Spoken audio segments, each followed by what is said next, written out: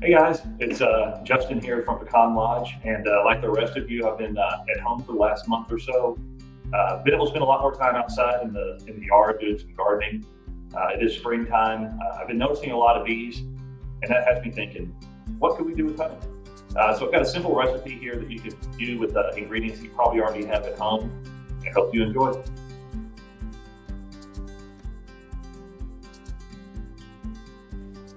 Okay, so we have all the ingredients for our cilantro lime vinaigrette here. Um, you'll see it's relatively straightforward. Um, we're using a local honey here. It's got uh, notes of alfalfa and clover, really grassy, which will go nice with the, uh, with the vinaigrette. And uh, here we go, pretty straightforward. We're gonna start with uh, just adding a little salt, maybe about a teaspoon of salt and a half teaspoon of red pepper, uh, garlic clove, uh, you're gonna want to do about two tablespoons of lime juice. If you don't have lime juice, you can also use apple cider vinegar or uh, really any kind of vinegar that you have in the house.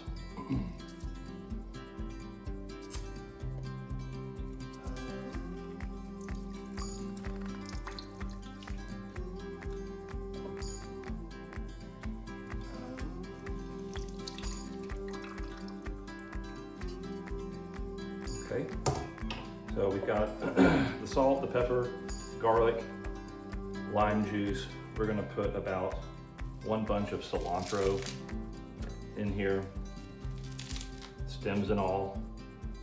And then we're gonna take our honey and you can kind of do this to taste, but we're gonna do maybe about a tablespoon, just a little bit more. And uh, that should be good. Then what you're gonna wanna do is put the lid on this and give it a blend.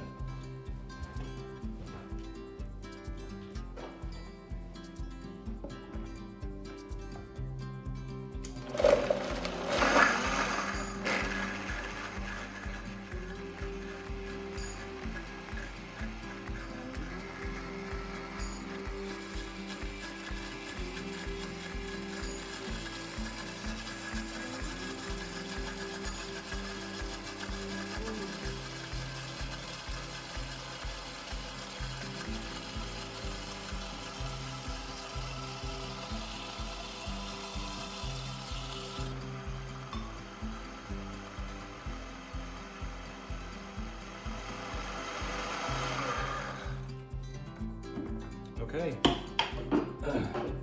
that's pretty much it.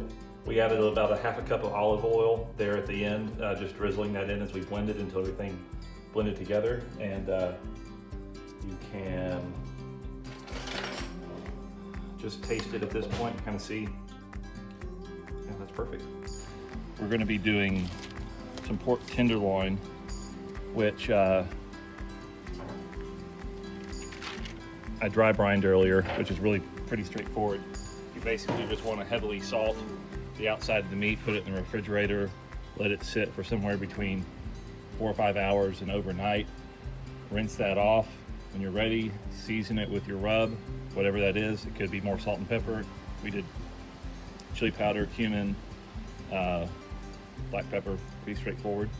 And uh, now we're just going to put the lid on, keep all the mittens closed, and let it cook.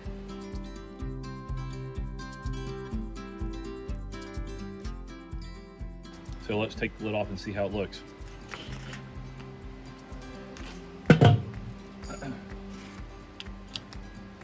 All right, so we've got our pork tenderloin here.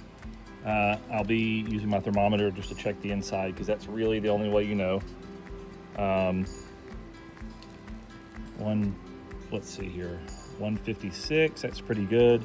I'm just gonna set that over there on the side and uh, we'll check this in the thickest part and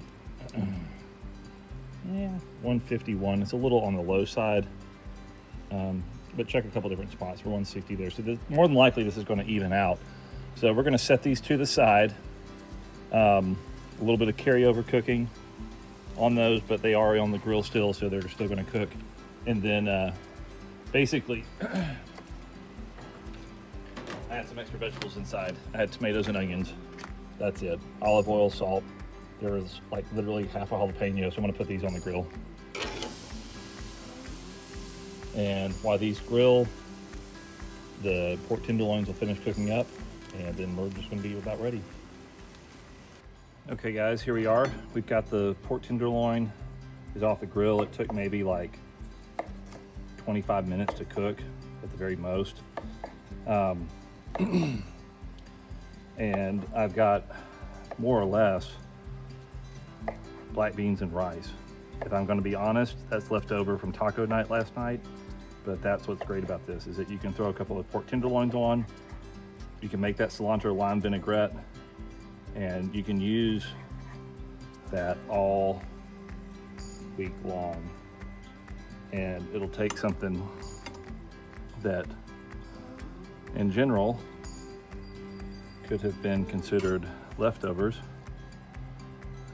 and turn it into something that is actually a pretty tasty treat. Um, so literally this entire meal minus the uh, cilantro lime vinaigrette is and the tenderloin is stuff that uh, that we just kind of made do with what we had at home. Got some chives here. I had those growing in the backyard. Chop those up.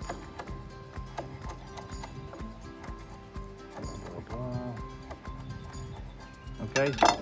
Um, then I've got our grilled vegetables, which basically consisted of tomatoes and onions that I had, half a jalapeno.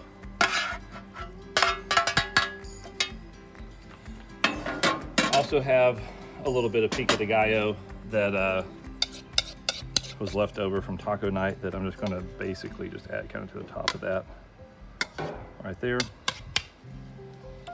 And then we've got the cilantro lime vinaigrette, which can go on just about anything, but we're just gonna drizzle that over the veggies a little bit.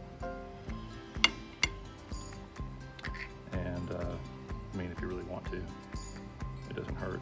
You can just go right over the top of the pork tenderloin. And that's it. Oh, just a little bit of cheese.